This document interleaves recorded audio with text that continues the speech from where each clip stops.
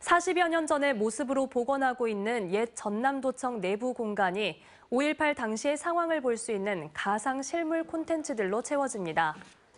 문화체육관광부 옛 전남도청 복원추진단은 오늘 전일 빌딩에서 착수 보고회를 열고 도청 별관과 본관, 경찰국 등 6개 건물로 이어지는 전시 콘텐츠를 구상해 5.18 당시를 재현할 수 있는 열린 공간으로 복원하겠다고 밝혔습니다.